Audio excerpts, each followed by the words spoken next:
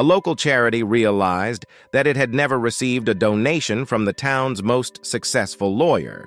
The volunteer in charge of contributions called him to persuade him to contribute. Our research shows that out of a yearly income of more than $600,000, you give not a penny to charity. Wouldn't you like to give back to the community in some way? The lawyer thought about it for a minute and replied, First, did your research also show that my mother is dying after a long illness and has medical bills that are several times her annual income?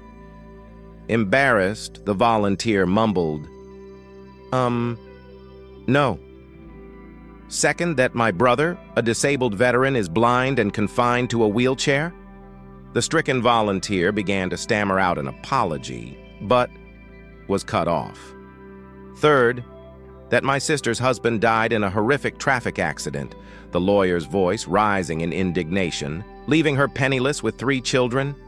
The humiliated volunteer, completely beaten, said simply, I had no idea.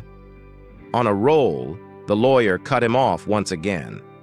And I don't give them any goddamn money, so why should I give any to you?